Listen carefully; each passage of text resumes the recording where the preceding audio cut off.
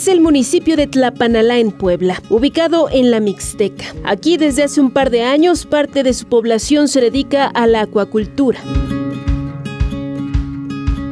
Desde 2008, Marco Antonio trabaja en el cultivo de tilapia. Inició su granja con cuatro estanques. Para este 2023 cuenta con más de 30. Sin embargo, ha visto que con el paso de los años, varias granjas han cerrado sus puertas en la Mixteca poblana. Señala que anteriormente existían cerca de 50. Hoy hay alrededor de 20. Una de las causas fue la pandemia, combinada con la falta de capacitación. Otra, la escasez del agua. Siento que la acuacultura aquí en el estado ha bajado, yo siento que, yo creo que el 50% de los productores de tilapia han desaparecido. Uno de, los problemas que se están dando actualmente es que no hay agua, o sea, se está escaseando el agua.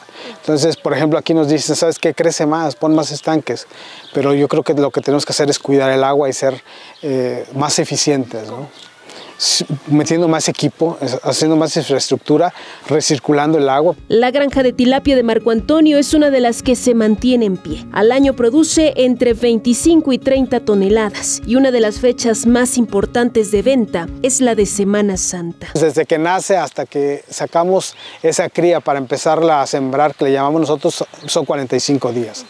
Después ya que sembramos esa, eh, más o menos entre 5 y 7 meses tenemos peces de 350 gramos aproximadamente. Llega Semana Santa y el porcentaje de venta, yo he sacado los cálculos aquí, del 60% de tu producción se acaba en estas fechas. ¿no?